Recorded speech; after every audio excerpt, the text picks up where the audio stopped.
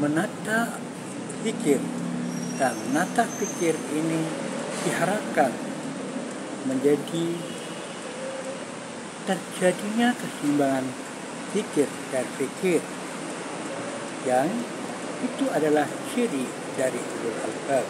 Artinya dengan menata pikir dan menata pikir kita akan munggah naik derajat kita dari sekedar ulul absor menjadi ulul albab.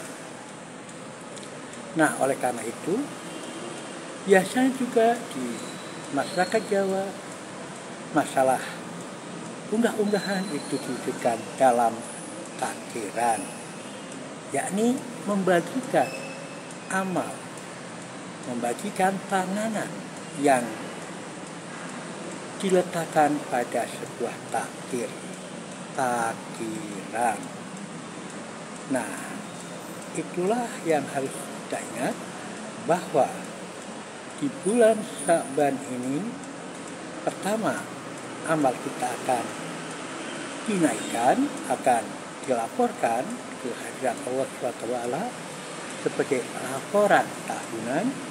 Kemudian kita perlu untuk menjaga amal perbuatan kita agar ketika kita dilaporkan dalam keadaan baik dan kalau bisa berbagai dosa sudah dihapuskan termasuk melalui sholat sholat tasbih yang biasanya di kalangan masyarakat dilakukan pada nisfu saban.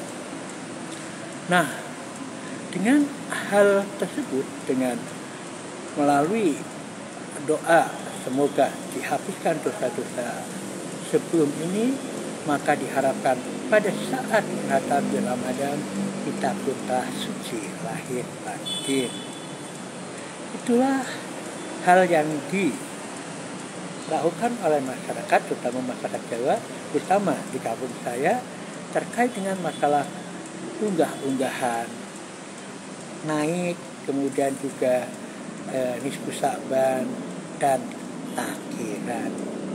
Jadi takhiran hanyalah sekedar sebuah simbol bahwa kita melakukan semuanya pikir ditata, pikir ditata agar kita naik kualitasnya sebagai manusia.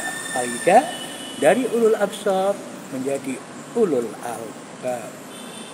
Mudah-mudahan bermanfaat. Assalamualaikum warahmatullahi wabarakatuh.